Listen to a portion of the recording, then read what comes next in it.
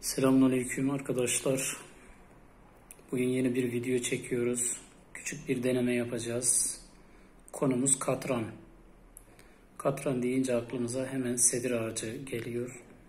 Ee, çünkü katran sedir ağacından yapılıyor. Diğer ismi ise katran ağacı. Şimdi bir çay kaşığı katranı suya damlatacağız. Bakalım nasıl bir sonuç elde edeceğiz.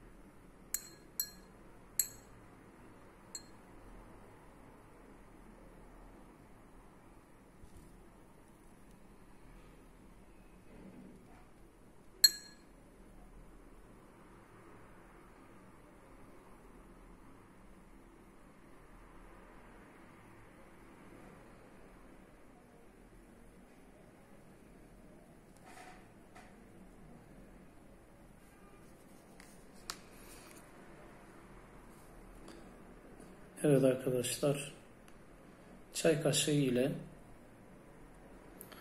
sedir katranımızdan aldık ve suyun içerisine damlattık ve böyle bir sonuçla karşılaştık. Kesinlikle katkısız, doğal sedir ağacından yapılmış katran